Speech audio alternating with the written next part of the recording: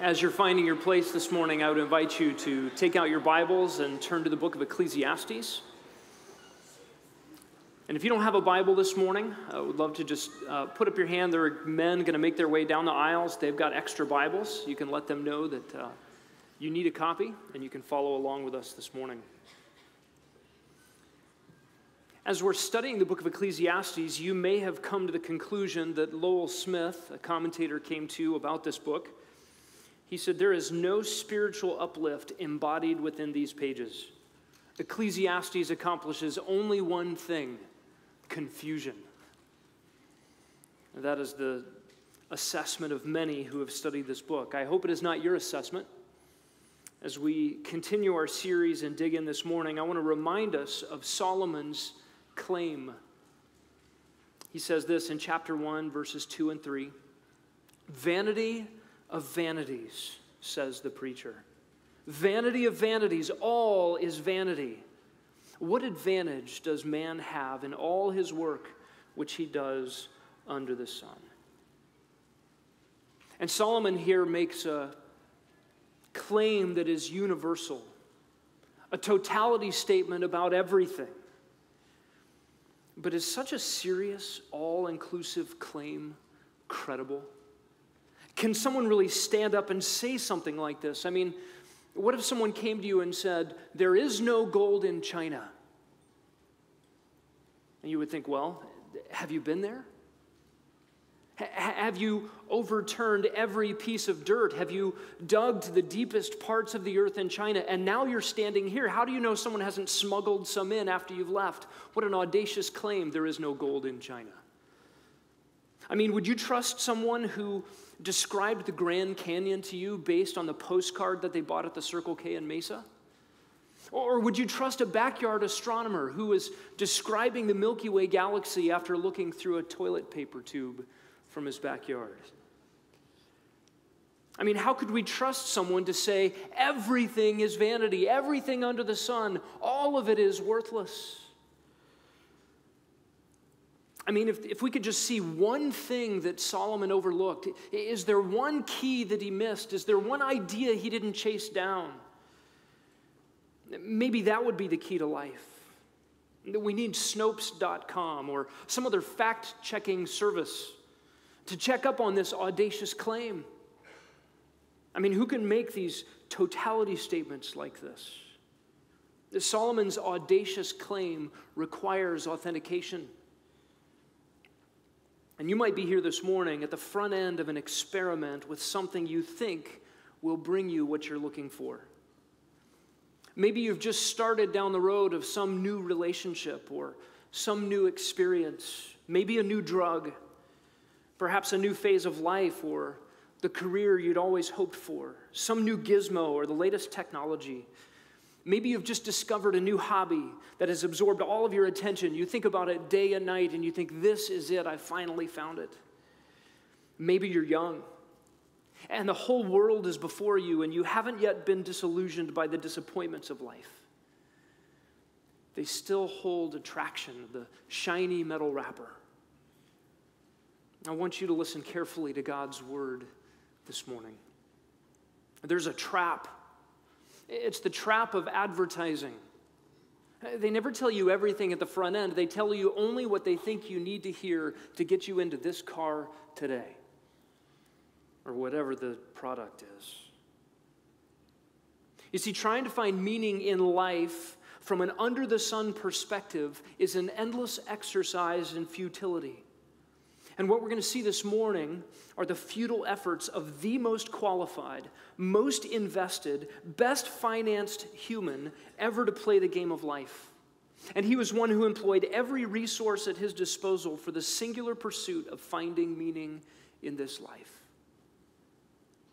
Let's read his words together this morning, beginning in verse 12 of Ecclesiastes 1.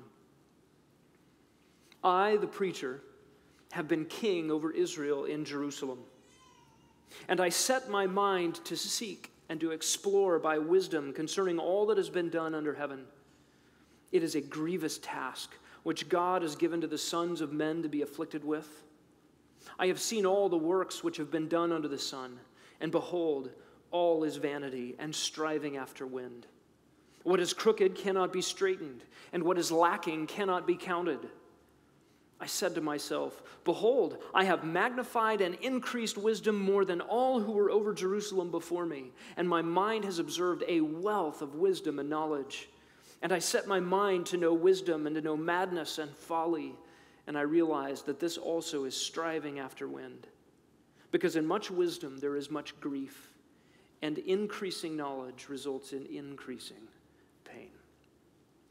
Will you pray with me? Oh God, we come this morning to these vexing words, eager to find what you have for us, eager to hear from you, even through the pen of Solomon, the king, the preacher. God, I pray that you would use these words by the power of your Holy Spirit to help us, to drive us towards an eternal perspective, to create in us a longing for heaven to get a right view of life under the sun. We ask for your help in these things. In Jesus' name, amen.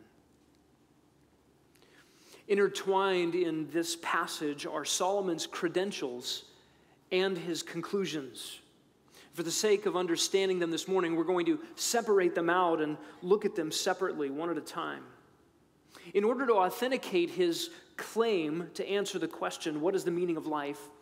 Solomon puts forward his own credentials. In Ecclesiastes 1 12 to 18, he tells us why he is a reliable resource for such a claim.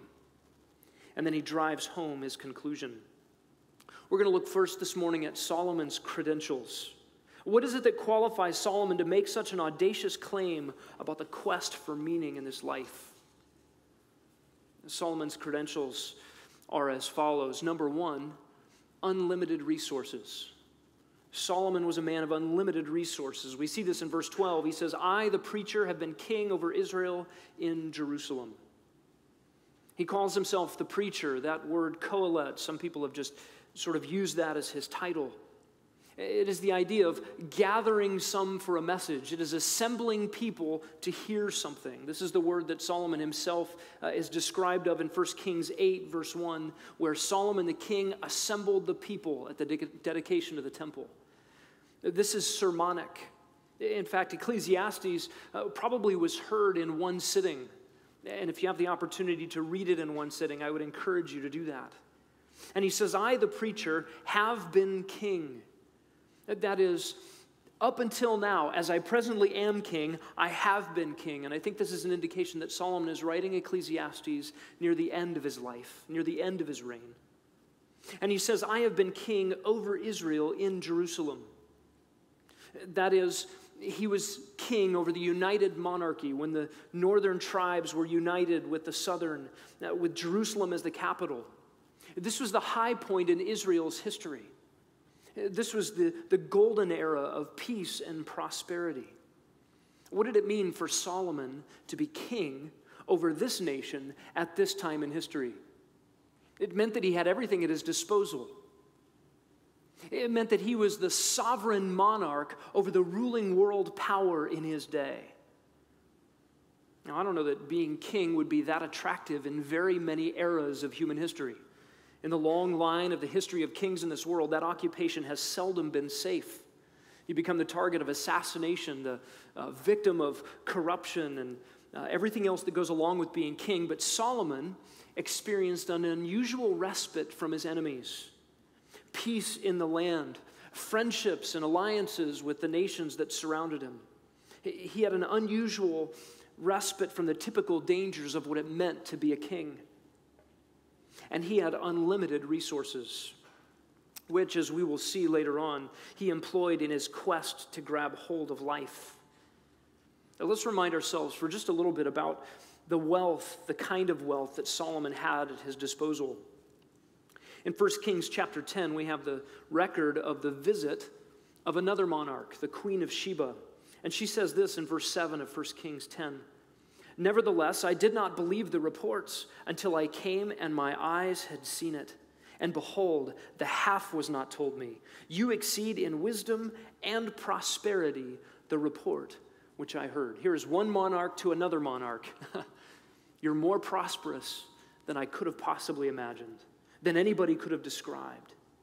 In verse 14 of the same chapter, the weight of gold which came to Solomon in one year was 666 talents of gold. That is some 25 tons of gold given to him in gifts from other regencies around the world, aside from all the merchants, aside from all the trade and the taxation that were part of being king. 25 tons of gold a year in gifts alone. Verse 23 of 1 Kings 10 So King Solomon became greater than all the kings of the earth in riches and wisdom. One king greater than all the kings of the earth in riches.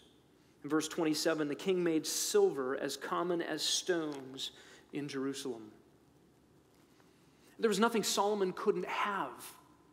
There was nothing that Solomon couldn't purchase. There was nothing that he could not acquire for himself.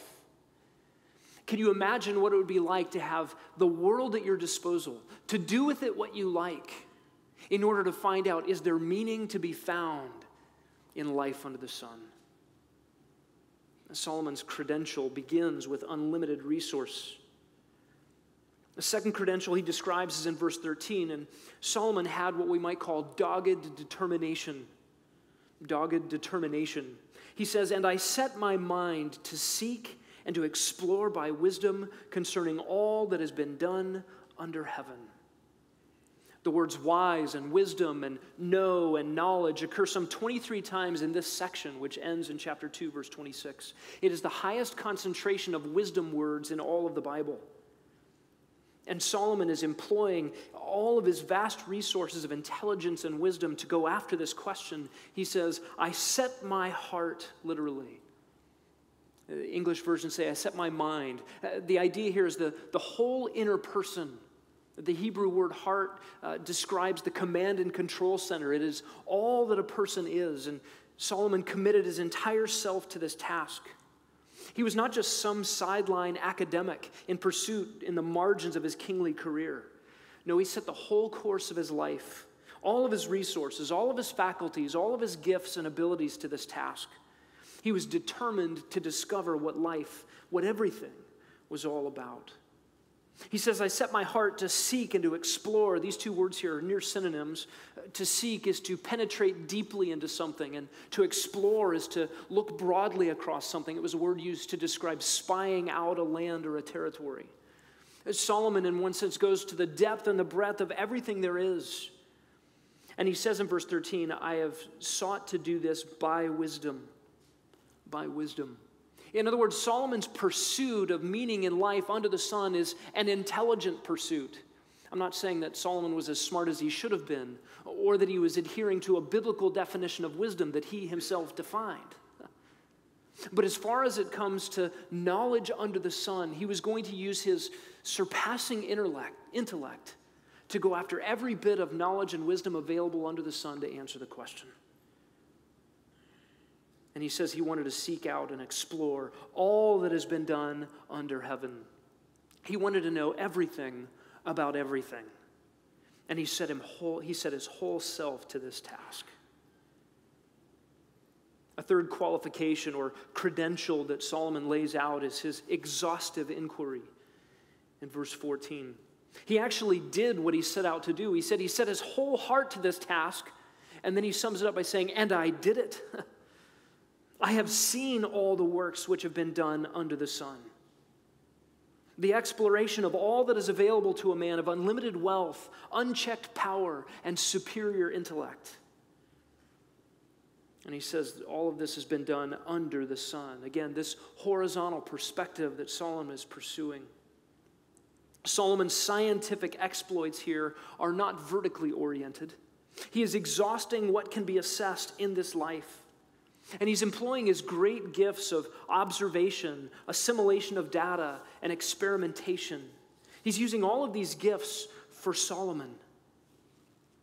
For Solomon, all of life, from botany to architecture to music to sensual pleasure, has become a laboratory, a great playground for an incomparable intellect and unending resources.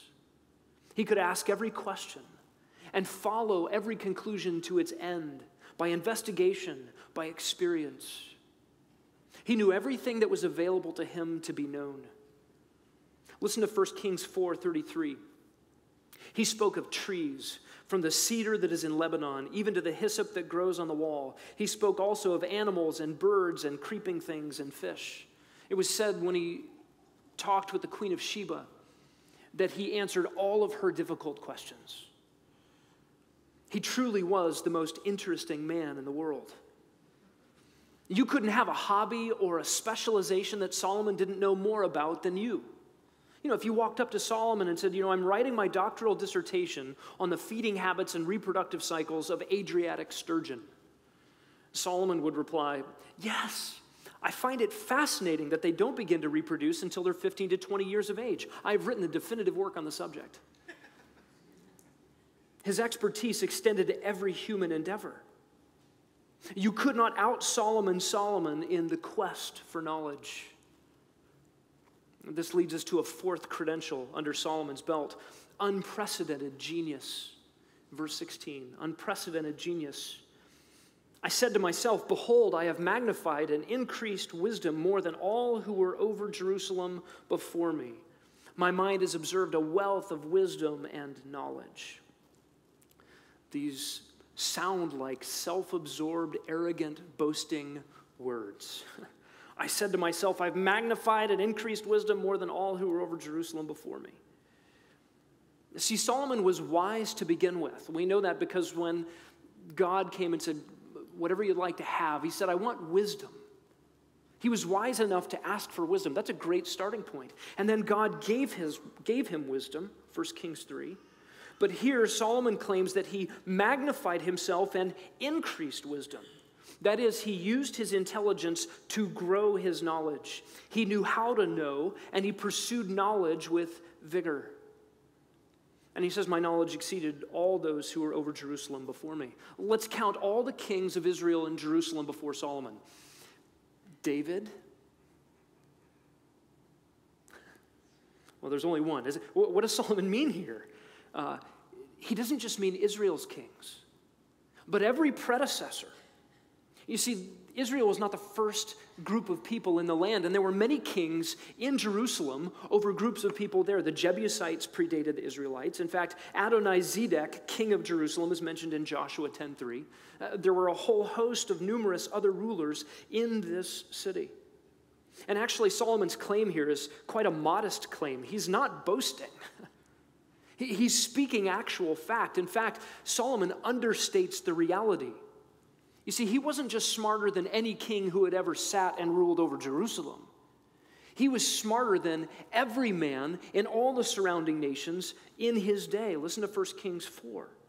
Now, God gave Solomon wisdom and very great discernment and breadth of mind like the sand that is on the seashore. Solomon's wisdom surpassed the wisdom of all the sons of the east and all the wisdom of Egypt for he was wiser than all men, than Ethan the Ezrahite, and Heman, and Calcol, and Darda, the sons of Mahol, and his fame was known in all the surrounding nations. He also spoke 3,000 proverbs, and his songs were 1,005. He spoke of trees, etc. People came from all over to hear the wisdom of Solomon, from all the kings of the earth who had heard of his wisdom. And in 1 Kings 10 23 and 24, so King Solomon became greater than all the kings of the earth in wisdom. And all the earth was seeking the presence of Solomon to hear his wisdom, which God had put in his heart. Even more than these statements, listen to God's promise to Solomon in 1 Kings 3. Behold, God says, I have done according to your words, Solomon. Behold, I have given you a wise and discerning heart, so that there has been no one like you before you, nor shall one like you arise after you. In other words, God declares that Solomon would be the smartest man to ever live. Have you heard of Plato, Aristotle, Socrates?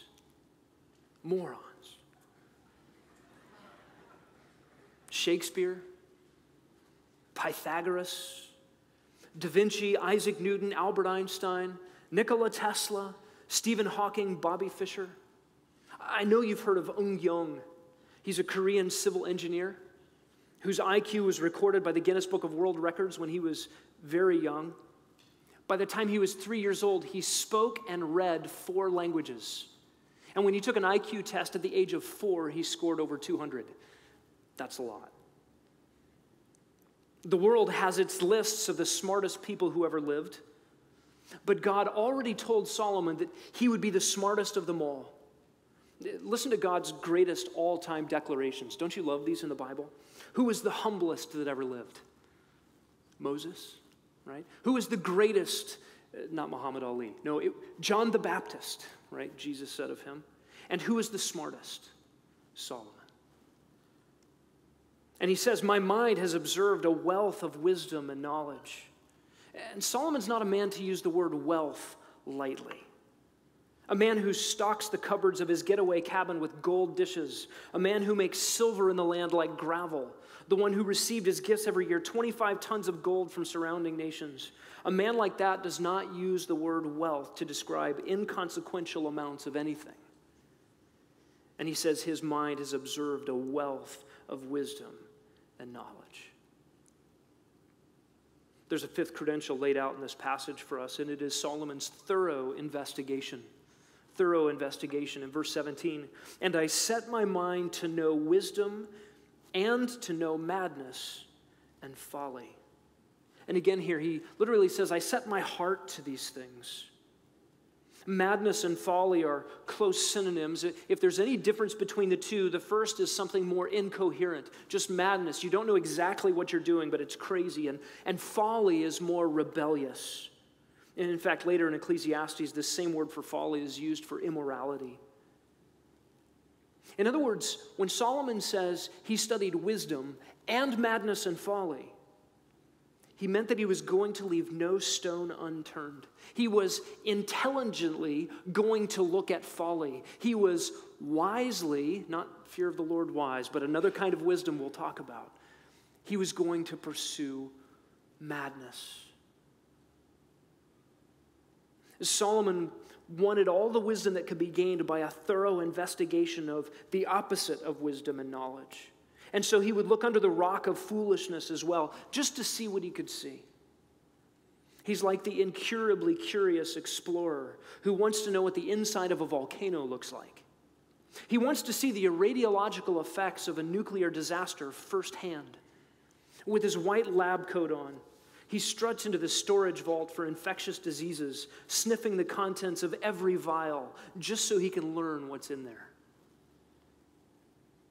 Did you notice the eyes in this passage? Verse 12, I, the preacher. Verse 13, I set my mind. Verse 14, I have seen all the works. Verse 16, I said to myself, Behold, I have magnified more than all who are before me. Verse 17, I set my mind. I realized. There's a lot of I in this passage. Solomon isn't talking about wisdom and, and knowledge here in terms of revelation, in terms of what God has disclosed for men to know. He, he is not expressing a dependent epistemology, right? How do we know what we know? Oh, I need to know what I know from God. He is using God's gifts the wisdom and knowledge, the great intellect that God had given him, and he's multiplying it for himself. Why did Solomon request wisdom? Do you remember? He said, I, am young and, and I don't know what I'm doing. I need wisdom so I can rule your people well, God, and so that I can discern between right and wrong. That's not what he's doing here. Solomon here is satisfying a selfish desire for intellectual inquiry. It's a selfish pursuit of the satisfaction of his own curiosity. And what we see in Solomon's life is remarkable giftedness married to moral and theological compromise. And what a tragedy Solomon's life is. To be given such rich gifts and to turn them inward to serve self. Charles Bridges put it this way instead of a fruitfulness of a long course of devotedness, all with sorrow and shame, with only a few last rays of the setting sun to brighten the thick cloud. Solomon's life is a life of squandered potential. And yet, by God's grace, we have the record of Solomon's rear view look at what a disaster his approach to life was, what a wreck he had made of the experiment. And we get to say, I don't have to do what Solomon did. He explored everything I'm tempted to look at. He, his credentials stand. He, he can make this totality statement. I can believe him. His claim is credible. In fact, no one else could qualify for such a quest. And what is it that Solomon discovered in this great enterprise? Let's look at Solomon's conclusion. This is the second part of our outline this morning. What did Solomon discover about the task of finding meaning in this life? And here we're going to look at four descriptions of the task of finding meaning under the sun. Verse 13 It is a grievous task which God has given to the sons of men to be afflicted with. It's a big, heavy, sorrowful, disappointing conclusion. This idea of a grievous task, this is what some have translated bad business. It is a bad business that has been given to men. The, the word bad here is the word that sometimes is used of evil it's calamity. It's uh, described of natural disasters and sicknesses and sometimes sin. Here it just carries the idea of grievous and bad and terrible. And the busyness, the, the thing we're to be active in. And I think Solomon primarily has wisdom in view here the, the intellectual pursuit of the meaning of life, philosophy, the quest for ultimate things, for meaning in this life through human investigation. And he says it is an unhappy task. Why is it so bad? Why, why is it so unhappy? Because it is a lifelong labor, frustrated labor, yielding no results. It's like doing a math problem your whole life and coming to the conclusion that there is no solution. It's so much hard work with no yield.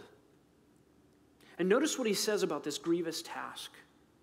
This is a grievous task, verse 13, which God has given. This is the first mention of God in the book of Ecclesiastes. And here, God's title is on display. As always in Ecclesiastes, it is Elohim, an emphasis on God as creator, as the one true universal God over all things. It's appropriate that Solomon uses this title for God in this book. Because what applies here does not just relate to God's special covenantal relationship with Israel, but applies to everybody. It's not as if Yahweh is the territorial deity of Israel and everybody else fends for themselves with their own gods. There is no other God. All other gods are idols, they're, they're, they're nothings, they're vanities in themselves, and the one true God is creator over all. And Solomon says, God has given this task to man. This burdensome task is God's doing. And because it is God's doing, you and I cannot remove ourselves from it. Being frustrated by our under the sun existence, being stymied in our pursuit of ultimate satisfaction in this life, it is inescapable. It is our unavoidable job description on this earth, and it is given to be so by our Maker. And Solomon says this is a grievous task which God has given to the sons of men. We talked about this last week. The same phrase is at play here. Solomon literally says, the sons of the man, ha Adam. In Hebrew, it's the Adam. Solomon is making an explicit reference to the fall. We are all descendants of the one who rebelled against God in the garden. To refer to us as the sons of the Adam, the sons of the man, is, is to relate us to the fall and that first rebellion. This phrase, the sons of the man, occurs 11 times in the Old Testament. Most of them are Ecclesiastes.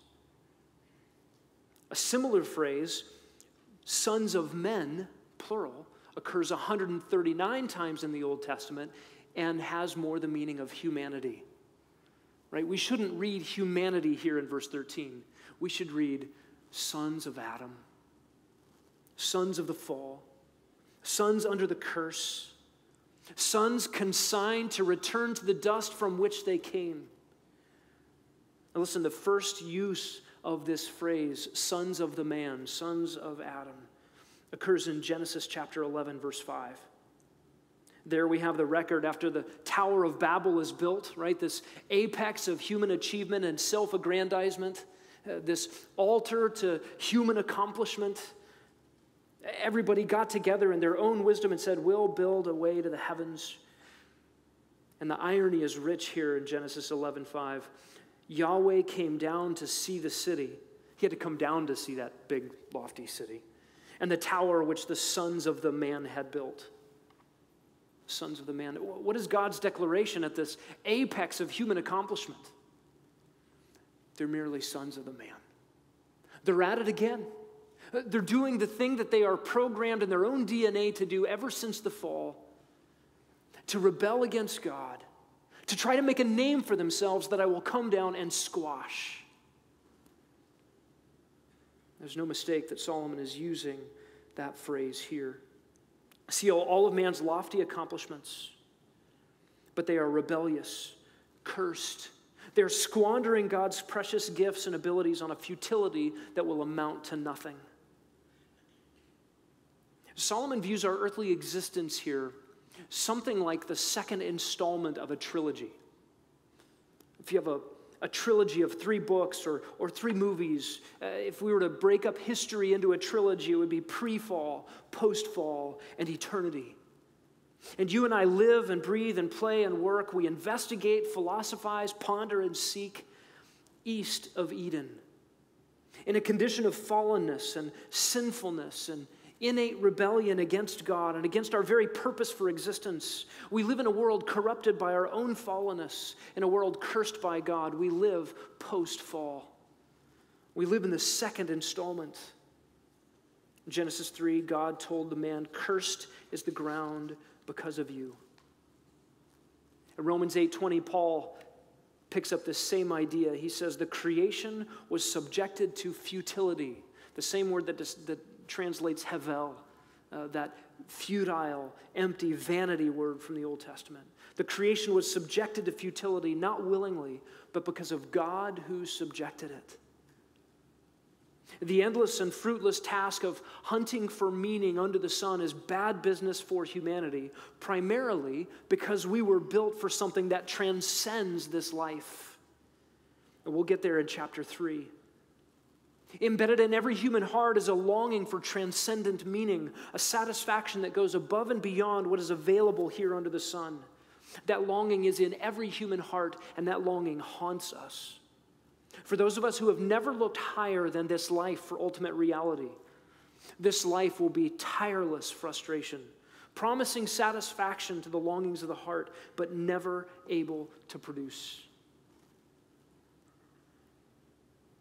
Solomon, describing this task, says it is grievous. It is not just grievous, but secondly, it is futile. Verse 14, Solomon says, All is vanity and striving after wind. He says the same thing in verse 17. And again, he has here in view the intellectual or philosophical pursuit of meaning in this life. And he says it is vanity, that word hevel, the emptiness, and he calls it a chasing after wind. I don't know if you've ever tried that. How are you supposed to catch the wind? You can't even see it. Ah, but you can see its effects. I know where it is. I tried an experiment this week. I grabbed a container out of the kitchen here at the, at the church building.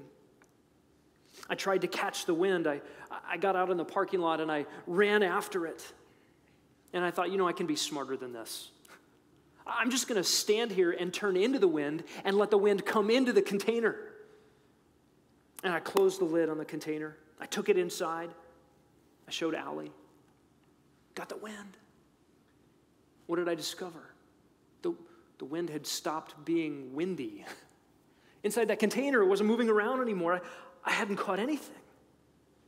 As soon as I had caught it, it, it wasn't wind anymore. Solomon tells us that the pursuit of meaning under the sun is like chasing the wind. striving after the wind. And uh, some translations would have this shepherding the wind, trying to get the wind to conform to what you want it to do. It can't be done. If the exploration of all that is available to a man of unlimited wealth, unchecked power, and incomparable intellect could yield no results, if Solomon couldn't get it, why in the world would I think that I could find the meaning of life under the sun? You and I ought to take the philosophical shortcut. Trust Solomon, the most qualified man ever to make this assessment. To steal an illustration from my brother in law, he said it's like trying to find a needle in a haystack, except it's not a haystack, it's a hay planet, and there's no needle. You spend all your time looking through it and never find what you're looking for. There's a third description, it's in verse 15. This task of finding meaning in life is not just grievous and futile, it is also frustrated. We get a proverb in verse 15 What is crooked cannot be straightened, and what is lacking cannot be counted. And Solomon turns to a, a proverbial statement here to let us know that the game is rigged. The house wins. This is a clue to the vexation of life. I want you to look forward a couple of chapters to Ecclesiastes 7.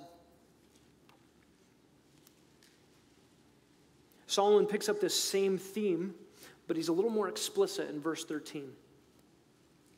He says, Consider the work of God, for who is able to straighten what he has bent?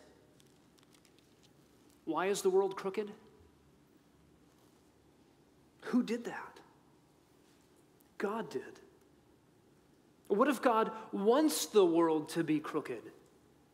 In this trilogy of history, the, the first installment was straight. Humanity was straight. God made man upright, but men have gone in search of many schemes. The last installment will be perfect. But this middle part of the story, volume two of the trilogy of God's plan, is bent out of shape.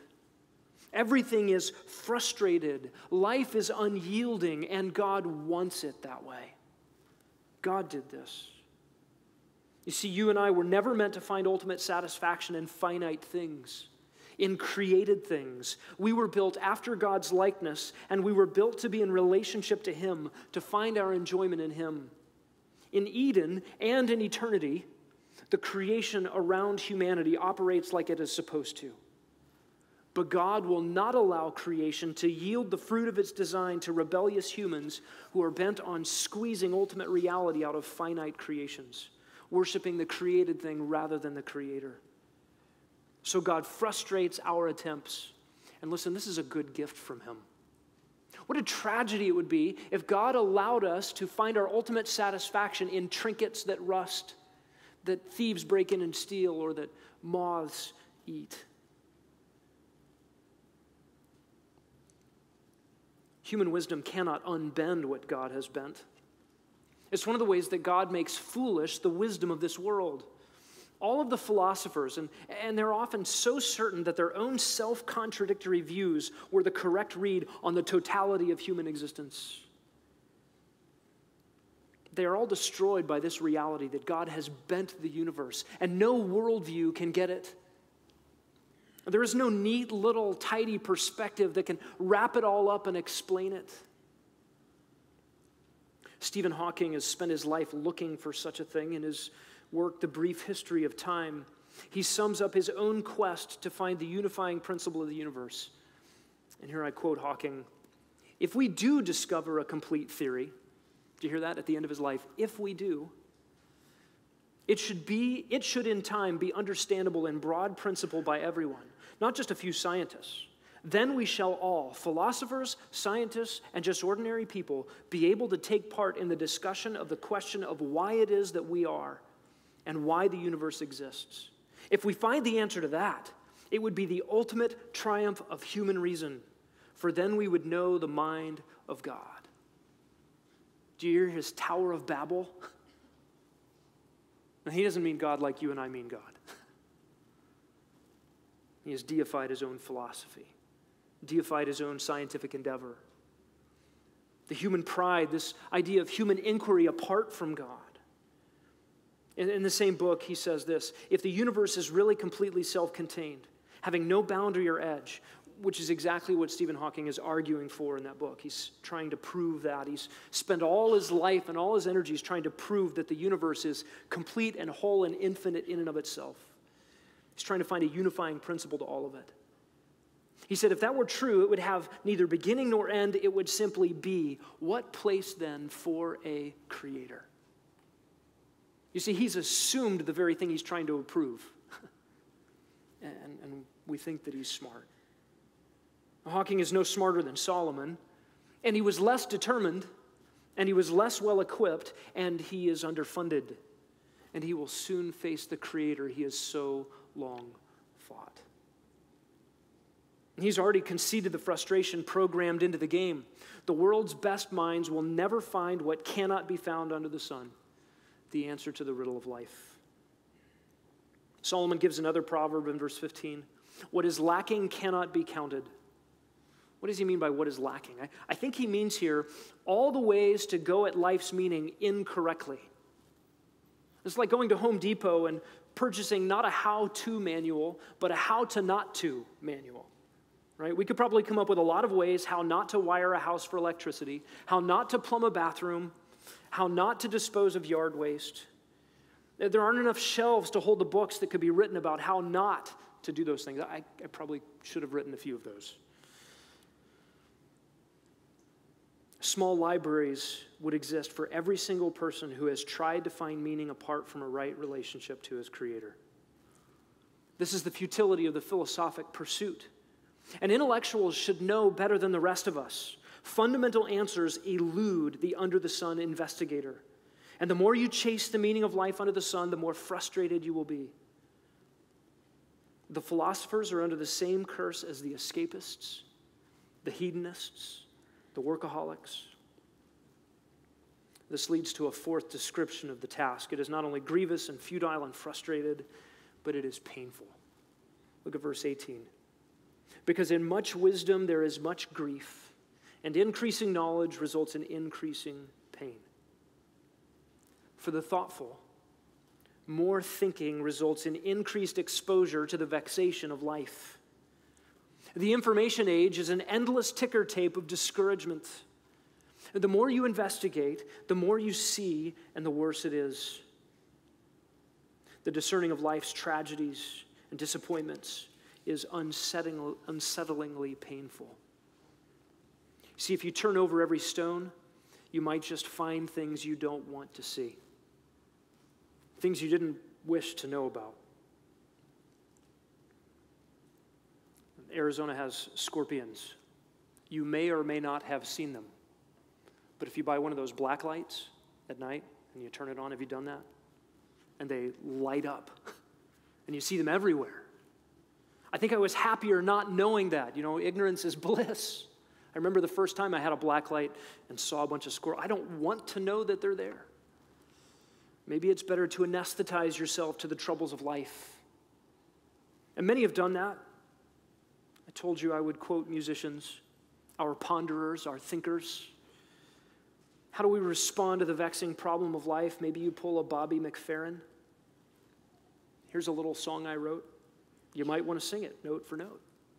Don't worry. Be happy.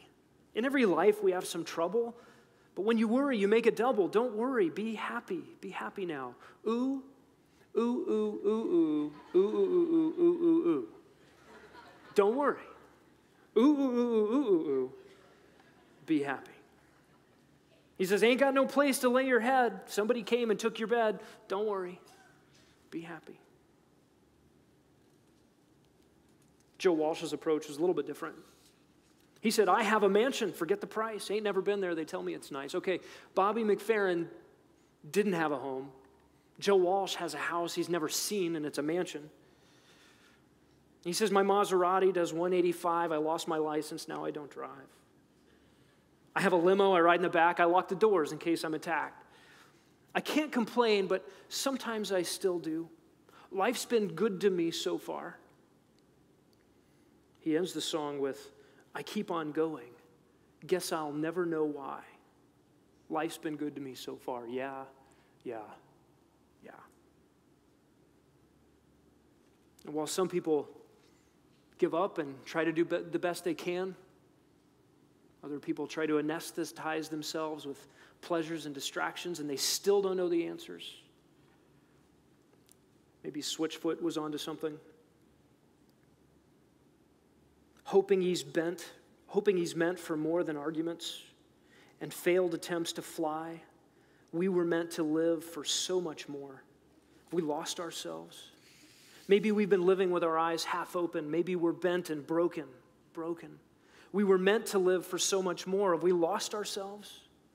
We want more than this world's got to offer. We want more than the wars of our fathers. And everything inside screams for second life. We were meant to live for so much more. We lost ourselves. We ought to listen to Solomon. Of course, there's one more credential that trumps all that we've talked about before. The Holy Spirit penned this book. God sovereignly ordained this book to be in our Bibles so that we would learn from Solomon's mistakes, learn from his observations. And so we skip to the end, and I want to give you three endings this morning. The first one is the end of this section, it's in chapter 2, verses 24 to 26. Solomon concludes this section of all is vanity. Everything under the sun is a striving after wind. And he concludes it by saying this in verse 24 There is nothing better for a man than to eat and drink and tell himself that his labor is good. That sounds like Joe Walsh. He says, This also I have seen that it is the gift of the hand of God. There's the difference. It's a hint at the conclusion in chapter 12 that a right relationship to, to your Creator allows joy, real joy, real satisfaction found in Him and experienced through the good gifts that God gives, even in a broken and cursed world. Verse 25 For who can eat and who can have enjoyment without Him? Joy is accessible to those rightly related to their Creator. Course, in chapter 12, verses 13 and 14, Solomon tells us the conclusion fear God, keep his commandments. This applies to every person. Judgment is coming. Remember that. Be rightly related to him. There's a day coming when he will set everything right, when volume three of the trilogy is in place. Solomon's credentials are legitimate, his conclusion stands. In fact, the culmination of all of human history to this point has only demonstrated that he was right. And the preacher is driving us somewhere to look up above the sun, to look heavenward. So there's a third conclusion we must run to. We must run to Jesus, the one who is smarter than the smartest man to ever live, the God man, Jesus the Messiah. He himself said that when he was here, something greater than Solomon had come. 1 Corinthians 1:24 calls Jesus the wisdom of God. You and I are not just victims of a bent and broken world. We are perpetrators of rebellion from the heart against our Creator. We are so by nature. And you and I can lament the brokenness around us, but we must repent of the corruption within us. You must be rightly related to your Creator to have the answers to life, and to experience the joy that God desires to give in this life. The only way that you and I are rightly related to our Maker is because our Maker came to the earth. The one who is outside of the universe, the one who holds the universe in his hands and sustains it with his very word, came into this broken and cursed universe so that he could take upon himself the corruptions, the sins, the crimes of anyone who would put their trust in him. And when Jesus bore our sins to that cross, he bore them before his Father, who crushed him in our place. We sang about it earlier. He was punished for our sins so that we could be free. You put your trust in him you trust the one that God sent. You trust the God man, Jesus the Messiah. And he will make you free indeed. I'll take you back to Romans chapter 8. Paul tells us the creation was subjected to futility because of God who subjected it, Verse 21 in hope that the creation itself will also be set free from its slavery to corruption into the freedom of the glory of the children of God. There is a freedom for those who belong to God, who are his children by faith and repentance. There is a freedom from the futility of life, which has affected all of creation. And there's a day coming when all of the sons and daughters of God are set free, that creation itself will be set free. And stage three of God's great trilogy will begin eternity in his glorious presence for all who love him. The tragedy for those who seek to squeeze out of this life ultimate meaning is they will be ultimately disappointed. What awaits those who will not repent, who will not believe, who will not cast their lives on the one God sent, the Lord Jesus Christ, they will only experience an unending futility, unending anguish, separation from all that is good in God and the presence of all that is awful, terrifying. What a tragic end for those who live their lives in futile pursuits here to end in the anguish and futility of hell there. Let's pray. God, we would beg this morning that if there are those who are here who do not yet know you, who are still on the hamster wheel of life trying to chase meaning out of the things that can't possibly bring it, would you rescue them here this morning? And for all of us, oh God, set our hearts free from the temptation, from the trap of being allured by the shiny metal wrapper of things that are empty and void and meaningless in and of themselves. And let us rejoice with joy at the gifts that you give and the enjoyment that you give along with those gifts for all who are rightly related to you. God, we thank you that we get to sing to you. What a privilege it is to be in a right relationship with our Maker. Thank you for your Son, the Lord Jesus Christ, who bled to purchase it for us. In his name we pray.